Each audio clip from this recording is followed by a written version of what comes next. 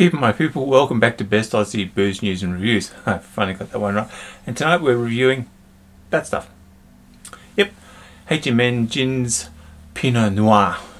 It's a uh, single variety, and it is the sound of happiness.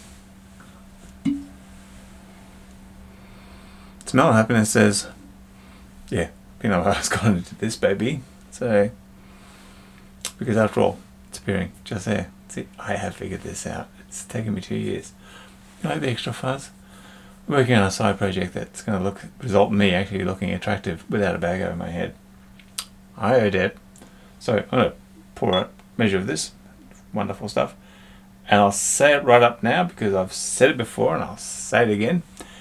If you really like Four Pillars Shiraz Gin, then this just shits all over Four Pillars Shiraz Gin. Sound of unhappiness. It really is that good. Gary and Amy, assuming I'm getting Gary's name right, he's more like a Gary, no, uh, you idiot, it's something else. Uh, I've made this stuff. Look at the colour of this.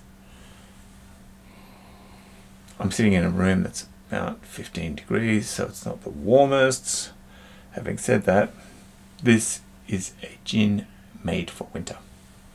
And there's a uh, made up version of their cocktail because myself and raw egg don't mix. Go see salmonella at it once. It's like a mother night. You don't want it twice. So let's have a sip of the smell of, well, we've had the smell of happiness, had the sound of happiness. Let's have the taste of happiness.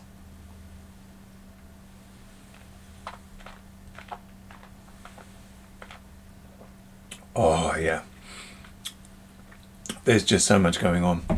Um, so much so I'm going to have to read the bottle. Um, look, it is simply delicious. I cannot name what's just detonated my face. It is full flavored. It's delicious. It's just mind blowing. And as I've said earlier in the review, yeah, Four Pillars makes a lot of good gin, uh, but wasn't particularly a fan of the Shiraz gin. And this stuff, I really am a fan of. It is very good, and it retails for about half the price of what Four Pillars does. So, hish boo to Four Pillars. Having said that, got to see if I can have a chat to Cameron a year after the sale. Thank you for subscribing.